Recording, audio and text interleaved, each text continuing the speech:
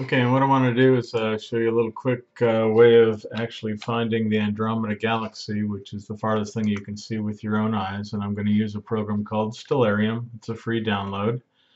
First thing I'm going to do is I'm going to make it tonight. Okay, let's make it about 9 o'clock. Actually, let's make it 9 o'clock.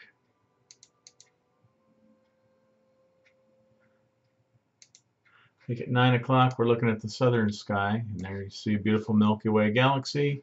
You can see Mars. And what I'm going to do is I'm going to move it from south to east and I'm going to look to the north and we're going to find Cassiopeia. Let me get rid of this. Cassiopeia is this W looking thing up here. It's in the northern sky.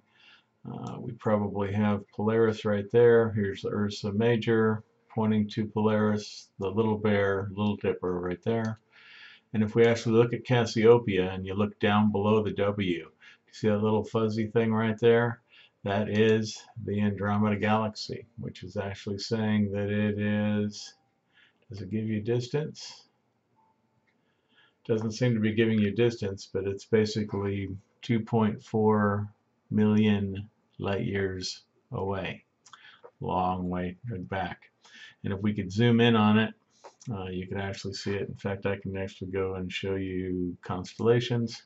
Um, this is Andromeda, and there is uh, Perseus with the head of Medusa, saving Andromeda, who was uh, actually Perseus arrived on Pegasus, who you can see right there, saving Andromeda from Medusa, and Andromeda Galaxy is actually named because it's found in the area of Andromeda.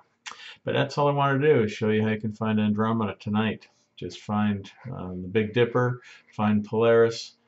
Uh, I've got too many things up here. Find the Big Dipper, find Polaris, look over a little bit towards Polaris is at, uh, in the middle, look over at by 3 o'clock and keep going and you can find the Andromeda Galaxy.